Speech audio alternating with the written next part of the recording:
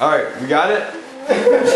get up, everybody, get up. We're doing this shit. One. They call me a Timberlake girl. We're gonna like it, like it. How's it going? How's it going? That's it.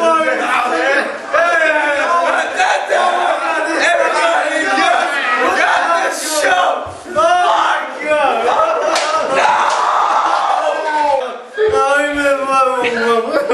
Got a suit, girl, wherever you are. Do you believe it? Can you receive it?